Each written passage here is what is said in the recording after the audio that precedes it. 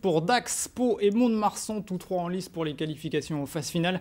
Euh, Périgueux, de son côté, est déjà relégué en Fédéral 1. Les Montois qui rencontrent Auge demain et qui n'abordent pas vraiment la rencontre dans les meilleures conditions. Le coach Marc Dalmazo a annoncé à ses joueurs, et c'est une surprise, qu'il ne les entraînerait plus la saison prochaine. Gaël Daringos, Jean-Yves Potra. On le dit, grand professionnel, droit dans ses crampons et peu causant. Avant d'affronter Hoche, Marc Dalmazo n'a pas dérogé à la règle.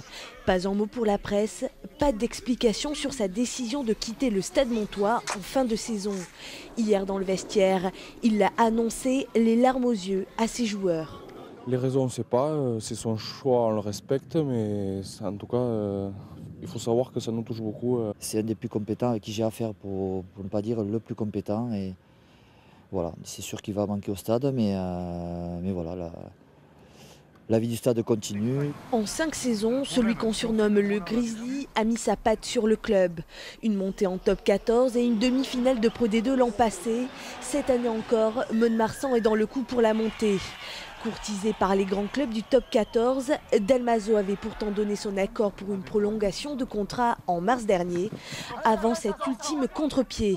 La faute à un budget insuffisant pour recruter, murmure-t-on dans le club.